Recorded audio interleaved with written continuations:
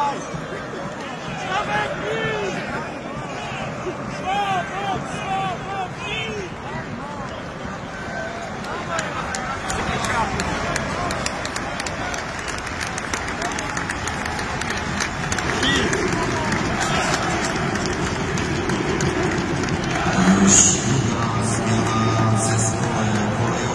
boisko opuścił zdobanej jaskini uliczna z 30 Mariusz Kurtowski.